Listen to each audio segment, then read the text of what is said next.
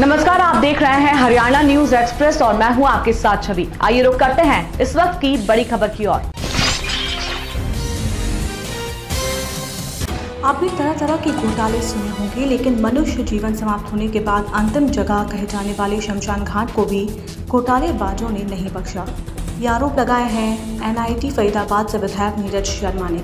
विधायक नीरज शर्मा का आरोप है कि फरीदाबाद के सेक्टर छप्पन में स्थित शमशान घाट में समाज सेवी की ओर से कराए गए काम का भी घोटालेबाजों ने वर्क ऑर्डर पास करा लिया, जिसका उन्होंने खुलासा किया। आपको बता दें कि ये वही विधायक हैं जिन्होंने फरीदाबाद नगर निगम के 400 करोड़ के घोटाले को उजागर किया था और दोषियों को गिरफ़्तार करने की मांग को लेकर शपथ ली थी कि वे तब तक चप्पल और कपड़े नहीं पहनेंगे जब तक दोषियों को गिरफ़्तार नहीं किया जाता और दोषियों की गिरफ्तारी के बाद ही उन्होंने कपड़े और चप्पल धारण किए थे।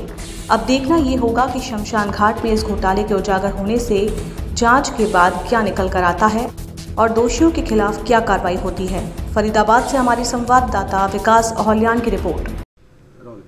विधायक जी एक शमशान घाट का मुद्दा आपने उठाया है जो कि काम आम लोगों ने करा दिए लेकिन उसका टेंडर बाकायदा उस काम का पास कर दिया गया। क्या है पूरा मामला? देखिए जब से मैंने नगर निगम के घोटाले पकड़ने चालू करे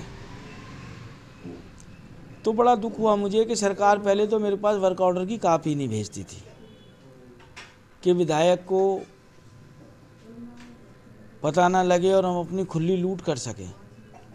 तो विधायक बनने के बाद मैंने सबसे पहला जो काम कराया, हालाँकि पूरे हरियाणा लेवल पे एप्लीकेबल है वो, नहीं करते हैं, पर मैं मेरी एन आई छियासी में कोशिश करता हूँ, हो चाहे कोई भी महकमा हो, कि आप जो भी विकास करेंगे उसके अंदर पारदर्शिता रखेंगे। एक बोर्ड बनाएँगे जिस पे लिखा रहेगा कि ये कार्य इतने अमाउंट का है। फलानी तारीख को शुरू होगा, फलानी को ख़त्म होगा और ये इसका डिफेक्ट लाइबिलिटी पीरियड है। उस काम की गुणवत्ता में कोई तकलीफ़, शिकायत है तो आप इस नंबर पे संबंधित अधिकारी से शिकायत करें। तो पीछे हमारे पास वर्क ऑर्डर आया, वार्ड नंबर एक, शमशान घाट का। पच्चीस लाख चालीस हज़ार का एक था और एक रस्ते का था, बीस बाईस लाख का।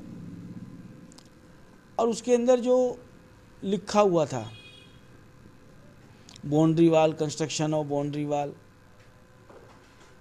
और तीन चार आइटम थे, जबकि हम जाते हैं वहाँ शमशान में तो बाउंड्री तो बनी पड़ी है। तो मुझे लगा कि शायद ये काम मेरे को बनाए बताए बगैर शुरू हो गया होगा तो मैंने कल वैसी रिव्यू मीटिंग बुला रखी थी तो वार्ड एक के जई भी आए थे।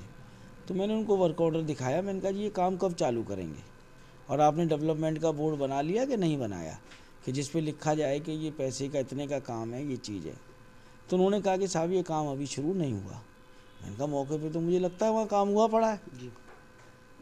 तो उन्होंने लिख के दे दिया कि ये काम शुरू नहीं हुआ। तत्पश्चात मैं नगर निगम गया। मैंने ओरिजिनल फ़ाइल निकलवाई। ओरिजिनल फ़ाइल निकलवा के मैं उच्च अधिकारियों को लेके वहाँ मौके पे शमशान घाट पे गया। वहाँ जाके मैंने देखा कि सबसे पहले एक कोई भी कार कार्य होता है नगर निगम का, उसकी एक रिकमेंडेशन जाती है। रिकमेंडेशन जाने के बाद उसका एस्टीमेट बनता है। एस्टीमेट के बाद टेंडर होता है। टेंडर में रेट अप्रूव होते हैं तो वर्क ऑर्डर हो जाता है। वर्क ऑर्डर के बाद ठेकेदार को काम करना पड़ता है। तो जो एस्टीमेट में देखा तो बड़ा हैरान रहा। एस्टीमेट के अंदर एक गेट था 300 किलो का। पंखे थे एग्जॉस्ट फ़ैन थी एलईडी लाइटें थी और सरकार जो भी काम करती है वो ये नहीं है कि साहब खाली पंखे टांग दिए। उसके साथ उसकी वायरिंग का अलग पैसा था कॉपर का अलग पैसा था अर्थिंग का पैसा अलग था। हर चीज़ के अलग अलग उन्होंने एस्टीमेट बना रखे थे। तो मैंने नगर निगम के अधिकारियों से कहा कि भाई आप मुझे ये बताइए कि ये पंखे कहाँ लगने? पंखे तो ऑलरेडी लगे पड़े। अब जहाँ चिता हम जलाते हैं उसके नीचे लगाने हो पंखे तो एक अलग विषय है। एग्जॉस्ट फ़ैन की भी कोई जगह नज़र नहीं आ रही थी। आप वायरिंग कहाँ करेंगे? सारे में वायरिंग हुई पड़ी है। एलईडी लाइटें सारी लगी पड़ी हैं। तो एक आदमी था को मुझे नाम नहीं पता कहने लगा जी ये साथ में एक बच्चों का दबाने का शमशान घाट है हमें बाउंड्री वाल इसकी करनी थी। तो फ़ाइल पे ना नक्शा रहता है। जी। और आजकल तो जब से नगर निगम में घपले घोटाले हुए हैं तो नगर निगम के अधिकारी कोई भी कार्य करना होता है उसकी लोकेशन लेटीट्यूड और लैंगिट्यूड पे देने लगे हैं। तो मैंने कहा, भाई, वो मुझे नक्शा दिखाइए बाउंड्री वाल कौन सी बननी है पैंसठ मीटर की? तो जब उन्होंने नक्शा दिखाया तो उसमें सिर्फ़ एक लाइन को हाईलाइट कर रखा था कि सिर्फ़ एक तरफ़ की दीवार बननी है बाउंड्री वाल की। तो मैं ये भी बड़ा हैरान हुआ देख के कि मैंने कहा, भाई, अगर जो ये साथ वाले की बननी थी तो आपको चारों बुझाएँ बनानी थी। या इस शमशान घाट की कॉमन करोगे तो तीन बुझा तो फिर भी बनानी है। तो मैंने कहा, अधिकारियों ने भी माना कि नीरज जी, इसके अंदर हमें प्रथम दृष्टि गड़बड़ लग रही है। और बाद में पता लगा कि शमशान घाट के अंदर नॉर्मल होता ही है कि पंखे एग्जॉस्ट फ़ैन एलईडी लाइटी लाइट और काफ़ी चीज़ें समाज के विभिन्न लोगों द्वारा दी गई। और आज सुबह मेरी बात भी हो रही थी। बसंत बिरमानी अंकल जी से तो उन्होंने कहा कि नीरज जी तीन साल से शमशान घाट की मैं टेक केयर कर रहा हूँ और इसकी एक बार नहीं दो दो बार मैंने बाउंड्री वाल बनाई है ऑलरेडी अंदर एक कमरा शेड भी बना हुआ था।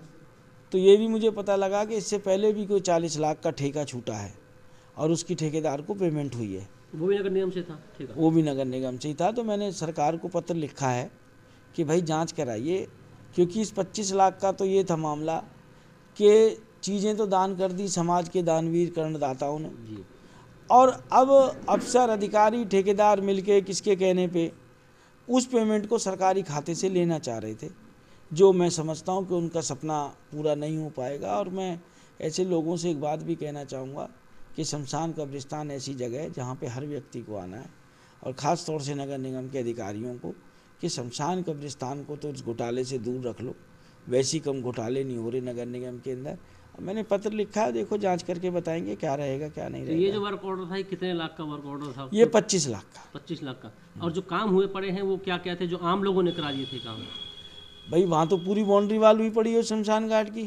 पंखे लगे पड़े हैं वहाँ पे एग्जॉस्ट फ़ैन लगे पड़े हैं एलईडी लाइट लगी पड़ी है और बाकी एस्टीमेट है वो कम से कम छः पेजों का उसके अंदर कम से कम पचास से ज़्यादा आइटम है।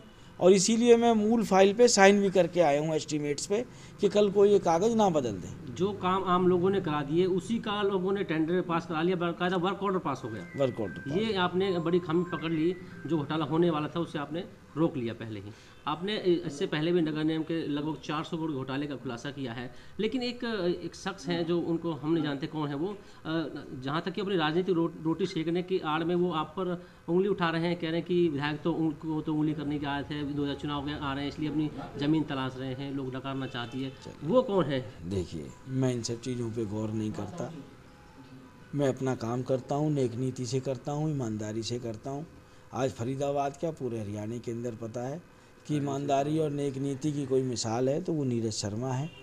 और जब भी आप कभी भ्रष्टाचार के खिलाफ लड़ाई लड़ेंगे ऐसी दुष्टार्थ दुष्प्रवृत्ति के व्यक्तियों के कुकृत्यों के खिलाफ लड़ाई लड़ेंगे तो ऐसे बहुत से काल नेमी आपको रास्ते में मिलेंगे पर मैं बजरंग बली जी से प्रेरणा लेके ऐसे काल नेमियों की परवाह नहीं करता। कहीं ऐसी कहीं ऐसा तो नहीं कि चोर की दाढ़ी में तिनकार वो खुद ही अपने आप आगे आ गए। अब वो देखिए मैं कोई कमेंट नहीं करना चाहूँगा इन सब चीज़ों में ना ये मेरा विषय है। जी। मेरा विषय था ये लोग सरकारी पैसे को हड़पना चाहते थे। वो मैंने रोक लगवा दी है। और ठीक है सरकार का सिस्टम है जाँच होगी दूध का दूध होगा पानी का पानी होगा बेनिश्चिंत रहे ठीक अभी आपने नगर निगम जब घोटाला उजागर कराया था आपने एक शपथ ली थी मैं नंगे पैर चलूँगा। इस बार भी कोई आपने प्रणय लिया कि ये घोटाले का जो दोषी है उनको अंदर कराने के बाद भी कुछ ऐसा करेंगे आप? नहीं नहीं ठीक है। हमारे फेसबुक पेज को लाइक फॉलो और शेयर करें। साथ ही यूट्यूब चैनल को लाइक करें सब्सक्राइब करें और ताज़ा खबरों के लिए बेल आइकॉन को दबाना न भूलें।